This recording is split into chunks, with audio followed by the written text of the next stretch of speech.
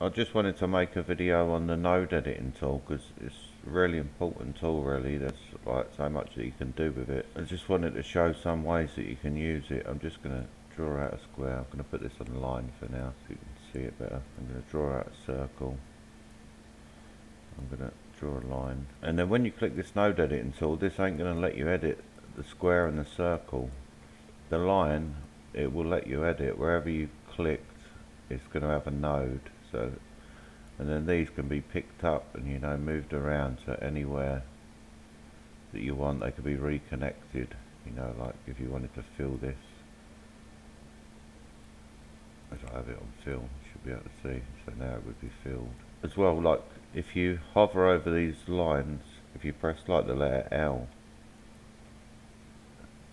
it goes back to being just a line and then like if you did want it rounded you just press the letter S and it will you know give you these handles to be able to manipulate. Like a way if you're not sure of these if you hover over this tool for long enough they'll pop up and tell you what does what.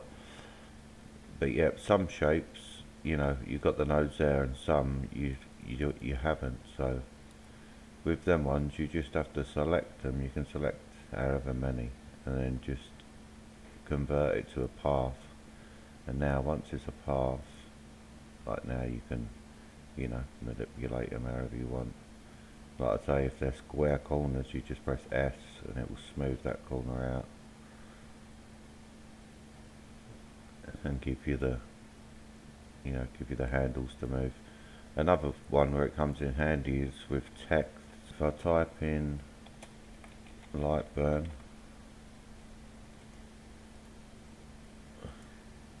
and if something's not right say I didn't want this curl on the end here this won't let you but the same thing with the text if you right click on it and go to convert to path now it will let you manipulate it. So like something like that if you didn't want that there really if you press the letter D and D you might have to press it a couple times. While you're hovering over the line it will delete. And then you could just reconnect these if there was a couple extras there all you have to do is press D and they disappear. And then this extra bit you can just delete afterwards. Or if one of these didn't connect it's the same thing you could you know just easily connect it up with the next letter. I'll just quickly know, show example. I have to write this back out because once you've changed this to a path you can't go back and add letters in there you know like that's a path now so you've got to make sure the text is correct before you. So yeah let me just do that one more time like because sometimes the text will come in and it'll be too far spaced apart say like this where it's not connecting I mean you can use this vertical spacing to move it closer together which sometimes will work but sometimes it kind of won't. If it's just one bit not connected say like here like I all you'd have to do is right click it and convert it to a path. And then you can uh, just connect these paths together. Uh, how I would do this one is press the letter D and delete out some of this and then even press D and delete out this. And just you know bring this around.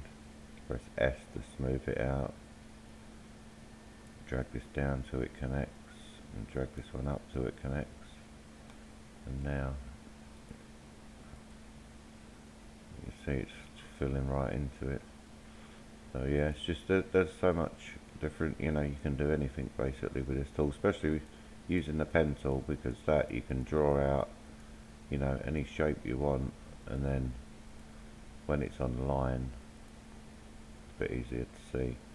Yeah then you can move these however you want. Like I say press L to you know make it a line press S so if you you know want to smooth one side out but you want the other side you know you can basically and you can add as many of these little nodes as you want just by pressing the letter I and then you know you'd only be moving a tiny bit. But yeah I just wanted to show some things of that because that's really handy. Tool for a lot of different things.